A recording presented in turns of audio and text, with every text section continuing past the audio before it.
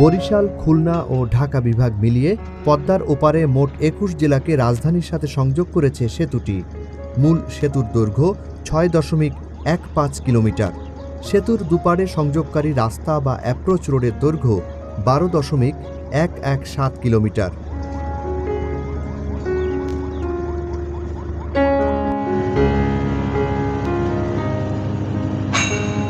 সেতুর জন্য দুই তীরে নদী শাসন ও পাড় বাধাই হয়েছে চোদ্দ কিলোমিটার। পদ্মা সেতুর জন্য মুন্সীগঞ্জ ও শরীয়তপুরে ভূমি অধিগ্রহণ করা হয়েছে এক হাজার চারশো একাত্তর হেক্টর।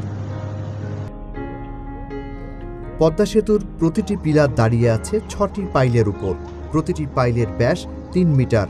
নদীর তলদেশ ভেদ করে মাটির ভেতর গেঁথে দেয়া প্রত্যেকটি পাইলের দৈর্ঘ্য একশো আটাশ মিটার।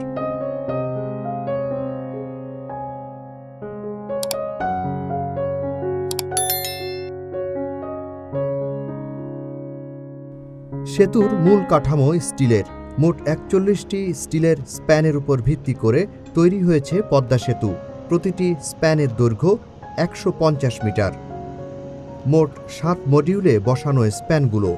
ছয় মডিউলের প্রতিটিতে স্প্যান সংখ্যা ছটি, অর্থাৎ ছয়টি মডিউলের মোট স্প্যান সংখ্যা ছত্রিশটি। অবশিষ্ট একটি মডিউলের স্প্যান সংখ্যা পাঁচ।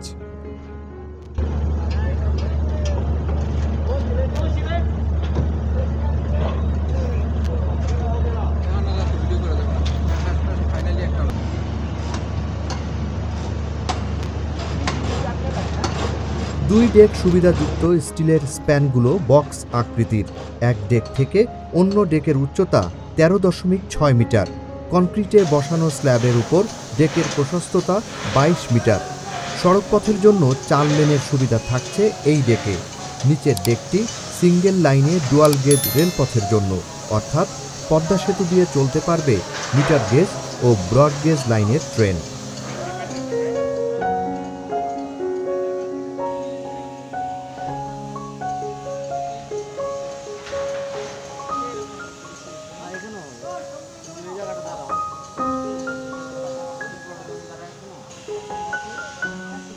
এটি একটি বহুমুখী সেতু। সড়ক ও রেলপথের পাশাপাশি আরও কিছু সুবিধা থাকছে পদ্মা সেতুতে। উচ্চ ভোল্টের বিদ্যুৎ সঞ্চালন লাইন রয়েছে এখানে।